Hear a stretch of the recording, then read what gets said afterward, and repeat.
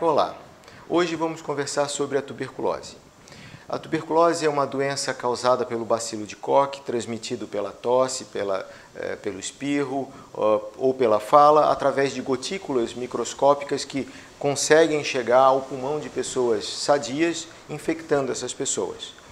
Ao serem infectadas, um percentual em torno de 2, 3% podem desenvolver no futuro a doença, que vai se manifestar por tosse, que inicia seca, eh, passando depois a uma tosse com uma expectoração, é, febre baixa ao final do dia, a, a perda de energia para viver, o emagrecimento. Então, são sintomas que sugerem a possibilidade de tuberculose. Como a gente faz para comprovar a tuberculose? A gente vai a, a procurar assistência de saúde e nessa unidade de saúde vão ser realizados exames, principalmente relacionados ao escarro do, do paciente. Lá vamos detectar a presença do bacilo e aí o paciente passa a receber o tratamento.